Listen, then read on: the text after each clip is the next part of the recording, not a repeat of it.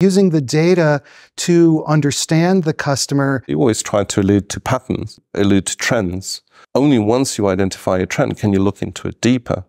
But if you focus on noise, it doesn't really help you in making decisions at all the time of going into spreadsheets and spending 60,000 hours of man work to try and come to a solution that now takes you five minutes. I do remember times when a revenue manager used to spend hours and hours looking, okay, we've made this much, this is what I'm forecasting and everything else. You now have revenue management software where it just goes in there and says, well, you should sell your rooms at this amount. And this is how you make the best, best profit. This is the next level with analytics tools as well within the hospitality industry. What are the Zoho tools that you're using to help you with this? Mainly analytics on this. Um, they've come up with something fantastic actually, which is the data transformation, a little bit of a godsend.